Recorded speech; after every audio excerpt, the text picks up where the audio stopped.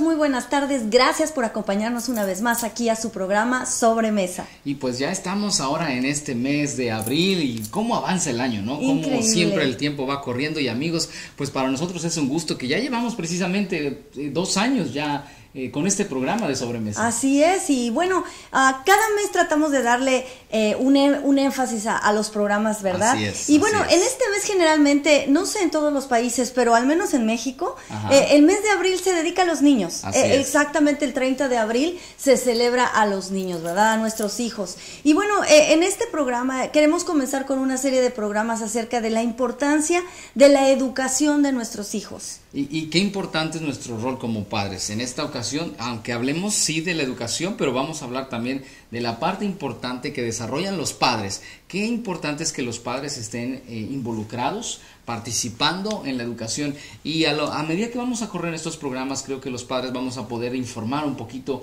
de las cosas que pasan dentro de la comunidad hispana, Así es. pero también de la comunidad internacional, cómo los jóvenes se preparan en diferentes países, cómo se preparan en América Latina y vamos a hablar un poquito de todo, ¿no? Así es, creo que creo que es muy muy importante que nosotros como padres de familia estemos informados y sepamos qué está pasando a nivel mundial, eh, qué está sucediendo con las economías de los países, por qué tantos cambios, qué hace que nuestros países, por ejemplo, de América Latina, no puedan pasar de, un tercer mundo a un primer mundo?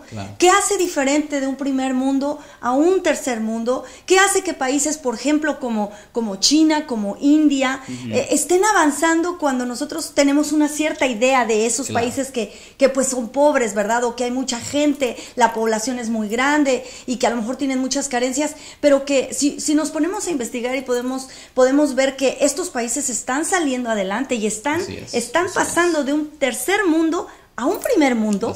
Y, yo me pregunto, yo me he preguntado mucho en estos últimos tiempos, ¿qué hace la diferencia? Claro, hay, hay una parte que, que, es fundamental en cuanto a los jóvenes en qué deciden, qué profesiones van a tomar. Eh, hay una parte fundamental en cuanto a la nación, incluso en que cada uno de los jóvenes se desarrolla. Pero yo creo que para empezar, antes de meternos en eso, de todo lo que tú estás comentando, podríamos hablar un poquito acerca de la importancia del papá o de los papás, el rol que juegan los papás.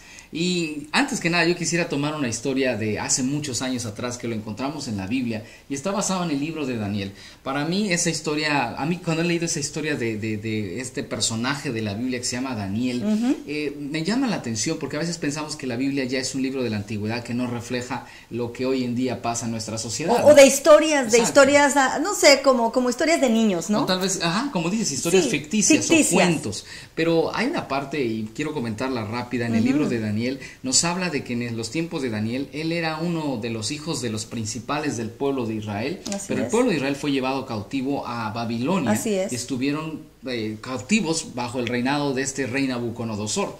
Y en ese tiempo dice, dice, nos cuenta este libro de Daniel, que fueron tomados de las familias reales los más educados. El rey Nabucodonosor pidió que le trajeran de los esclavos jóvenes que estaban acostumbrados a un buen nivel de vida de ese tiempo, eran llevados como esclavos a al pueblo de Babilonia y ahí escogían a lo mejorcito.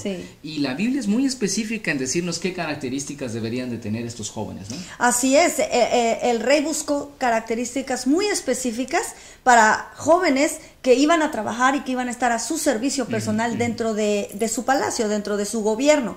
Y, bueno, el libro de Daniel especifica exactamente cuáles son las características que este rey pidió y que no se alejan de lo que hoy en día son los requerimientos para que nuestros hijos lleguen a triunfar en donde quiera que se muevan. Así es, uno de los requerimientos que están ahí eh, en el capítulo 1 de Daniel habla de que debían de ser de buen parecer. Es decir, chicos que se cuidaban desde su apariencia física, de, no, y no se refiere solamente a guapos o bonitas. Claro, claro, porque si fueran guapos no entraríamos muchos en esa clasificación, ¿verdad?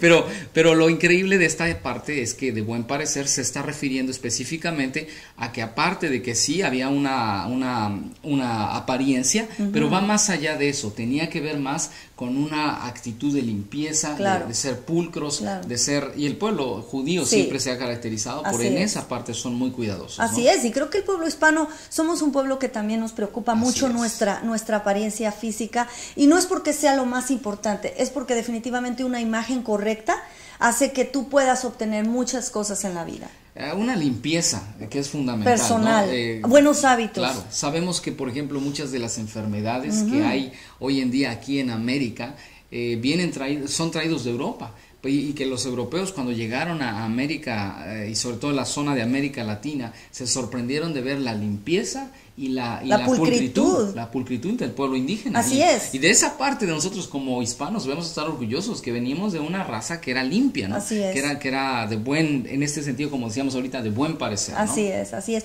Otra de las características que este rey bien inteligente pidió de estos chicos era que fueran, dice exactamente la escritura, que fueran inteligentes en toda rama del saber. Es decir, buscó jóvenes que estuvieran preparados académicamente, que realmente tuvieran una educación profesional.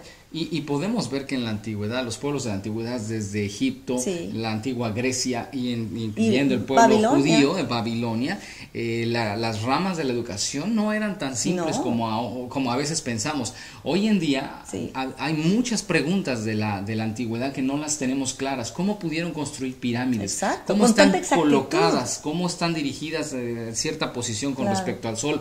Todos los detalles que de alguna manera nos sorprenden y que hasta hoy en día no las sabemos. Pues no debemos menospreciar que cuando el rey de Babilonia pide que sean estudiosos, no eran estudiosos en cualquier cosa, sino que realmente tenía que haber una preparación en ellos. Así, ellos tenían que haber sido preparados en muchas áreas eh, de, ciencias, de, astronomía y de muchas cosas para poder ocupar estos lugares.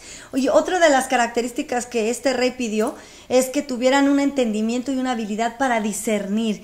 Y yo puedo, mi punto de vista, yo no sé el tuyo, pero en este sentido siento que, que este rey pidió que tuvieran herramientas, además de herramientas como principios y convicciones fuertes que, eh, para, que fueran necesarios para tomar correctas decisiones. Claro. Yo creo que una cosa es, y lo hemos hablado en algunos otros programas, una cosa es que los niños sean inteligentes o los jóvenes, pero otra es que sean sabios. Y aquí es lo que buscaba el rey. No nada más que sepan sumar, dividir, restar, etcétera, etcétera. Científicos, astrónomos. sino que sepan tomar decisiones correctas. Así y esa es una de las carencias de nuestra juventud hoy en día. ¿Por qué? Porque muchas veces nosotros como padres nos preocupamos en que vayan a la escuela. y la escuela les da inteligencia, los desarrolla la habilidad de la inteligencia. El conocimiento. Pero nosotros como padres nos toca desarrollar en ellos la sabiduría. Y eso no lo da la escuela. Así es. Eso lo damos nosotros como Así es. El discernir, el discernir situaciones, el discernir cómo tomar una decisión, eso no se lo va a dar la escuela, eso no se lo va a dar la universidad. Eso se lo vamos a dar nosotros con nuestro ejemplo y con nuestra sabiduría. ¿Verdad? Y, y, bueno, otra, otra de las características que este, este rey pidió a estos jóvenes era la, dice ahí que tenía que tener una habilidad especial para servir dentro del palacio del rey. Es decir, tenían que tener ciertas características para desenvolverse en un ambiente de gobierno. Exacto, o sea, incluso yo considero como que estamos hablando de una actitud eh, de, de, autoridad, una, una, una actitud de, que soy capaz, de que lo puedo hacer, nada de que acomplejados, no como la típica respuesta que ahora hablas con un joven a veces y te dice, I don't know, ¿verdad? Esa es pareciera que es la frase que los mueve y, es lo único que saben decir. A veces, a mí a veces me da tristeza ver jóvenes que, que no saben expresarse, que no saben ni saludar. Así es. Eh, joven, me tocó no hace mucho subirme a un carro y un joven como de 16 años, estando junto a él, me volteo y lo saludo y ni siquiera se voltea a darme saludo, o sea, ni siquiera me respondió. Estoy hablando de un chico hispano. Qué triste es que tengamos ese tipo de cosas. Así es, yo creo que eh, eh, también se refiere a la capacidad de resolver problemas en donde en cualquier trabajo. Si tú te fijas, a ti te contratan en una compañía y lo que ven en ti, lo que quieren de ti es que tú tengas la capacidad de resolver problemas. Y yo creo que esto se refiere en la habilidad de, de, trabajar dentro del palacio. El tema es muy amplio y no vamos a acabar el día de hoy. Así que amigos, acompáñenos la próxima edición de su programa Sobremesa y aquí los esperamos para seguir hablando de este importante tema de la educación de los hijos. No se lo pierda, hasta la próxima. Gracias por acompañarnos.